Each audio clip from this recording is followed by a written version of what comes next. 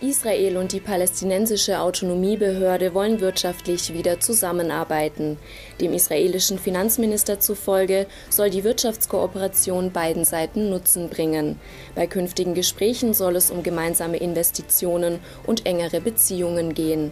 Dazu zählen Erleichterungen beim Grenzübergang zwischen Israel und den Palästinensergebieten, Treibstofflieferungen sowie Strom- und Wasserversorgung der Palästinenser und ihre medizinische Versorgung in israelischen Krankenhäusern